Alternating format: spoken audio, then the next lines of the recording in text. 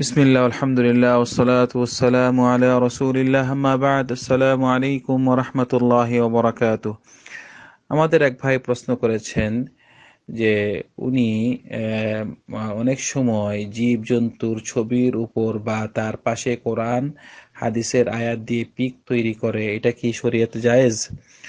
প্রথমে আমি বলি যে, সম্মানিত ভাই ওয়ালাইকুম আসসালাম রহমতুল্লাহ ওবরাকাতুহ কোরআন এবং হাদিস দিয়ে কেউ যদি কোনো একটি ছবি তৈরি করে, আপনারা দেখবেন অনেক সময় যে মানে কোরআনের আয়াতটা দিয়েই একটি পশু বানায় অথবা একটি পাখি বানায় এটা যদি কেউ করে থাকে, তাহলে এটা পুরা নাজায়েজ, এটা একটা কোরআনকে কোরআন আয়াতকে অসম্মান করা হয়।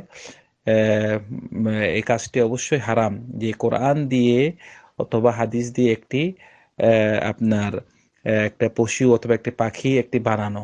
এটা হলো একটা বিষয়। আরেকটা বিষয় হলো যে কোরআন এবং অথবা হাদিস একটা থাকবে, একটা মানে পশু পশু পাখির একটা ছবি থাকবে তার উপরে অথবা তার এক সাইডে মানে একটা কোরআন আয়াত থাকবে এবং কোরআন আয়াতটা যদি এই পশু সম্পর্কে বলে, যেমন ধরেন একটা কোরআন আয়াত বললেন যে একটা পশু, যে পশুটি আয়াতে উল্লেখ করা আছে ওই পশুটির ছবিটি আপনি রাখলেন বোঝাবার জন্য যে এই পশু সম্পর্কে আয়াতে বলেছে।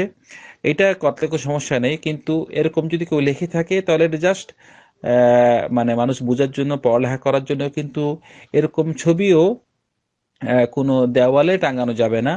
মানে আপনি এটা জাস্ট বোঝাবার জন্য, শেখার জন্য আপনি দেখলেন, একটা একটা জীবজন্তুর আপনার ছবি, তার পাশে কোরআন আয়াত যে আয়াতটা এই পশু সম্পর্কে আলোচনা বলতে বলতেছেন। কিন্তু এরকম হলেও আপনি এরকম ছবিও কোনো দেওয়ালে টাঙানো যাবে না। কারণ যেহেতু এটির একটা যে কোনো পশু এবং যে কোনো একটা জীবজন্তু যেসব রূহ আছে জীবিত রূহ আছে এসবকে দেওয়ালে টাঙানো যাবে না। যখন নাকি এসব দেওয়ালে টাঙানো হবে তখন ওই ঘরে আহ, ফেরেশতা প্রবেশ করবে না। কারণ একটি হাদিস আছে যেটি হাদিস বুখারী মুসলিম পাওয়া যায়, লা তাদখুলুল মালাইকাতু বাইতান ফিহি কালবুন ওয়ালা সোরা যে ফেরেশতাগণ প্রবেশ করে না ওই বাসায় যে বাসায় নাকি কুকুর থাকে, যে কুকুর কোনো প্রয়োজন নেই, এমন কুকুর থাকে, এবং অথবা কোনো ছবি থাকে, ওই বাসায় ফেরেশতাগণ প্রবেশ করে না। তো সুতরাং ভাই, এটাই আপনার জবাব যে যদি কোনো একটি আয়াত মানে পশু পাখির পশু পাখির মতো বানানো হয়। আয়াতটাকে এভাবে লেখা হয় পশু পাখির মতো তাহলে এটা জায়জ নেই।